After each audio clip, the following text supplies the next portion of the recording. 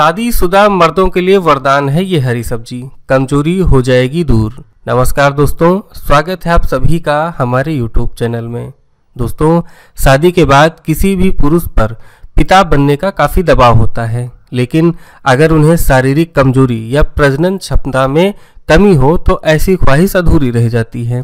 Male infertility की कई वजहें हो सकती हैं, लेकिन ज़्यादातर हेल्थ एक्सपर्ट्स मानते हैं कि इसके पीछे अनहेल्दी डाइट और बिज़ी लाइफ स्टाइल हो सकती है।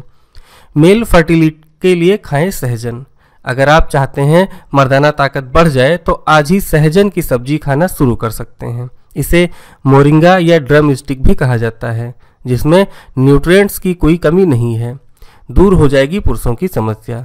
साउथ इंडिया में सांभर तैयार करने में सहजन का इस्तेमाल काफ़ी किया जाता है। उत्तर भारत में भी इसकी सब्ज़ी तैयार की जाती है। इसके बीज पत्ते डंठल सभी में औषधीय गुण पाए जाते हैं।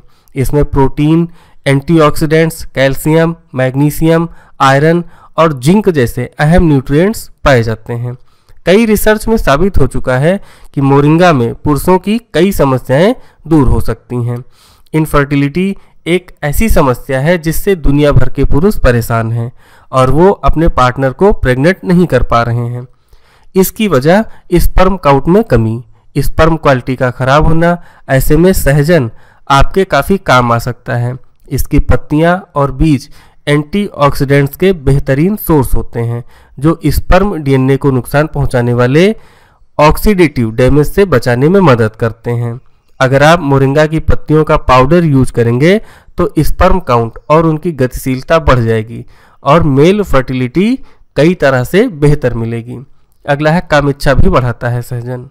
एक रिसर्च के अनुसार सहजन में कामोत्तेजक गुण होते हैं, जो पुरुषों में टेस्टेस्टोरेन के लेवल को बढ़ाने में मदद करते हैं, जिससे कामिच्छा बढ़ाने में मदद मिलती है। बढ़ जाएगी, और मेल फर्टिलिटी कई तरह से बेहतर मिलेगी। अगला है कामिच्छा भी बढ़ाता है सहजन। एक रिसर्च के अनुसार सहजन में कामोत्तेजक गुण होते हैं, जो पुरुषों में टेस्टेस्टोरेन के लेवल को बढ़ाने में मदद करते हैं, जिससे कामिच्छा बढ़ाने में मदद मिलती है। जिससे कामेक्षा बढ़ाने में मदद मिलती है।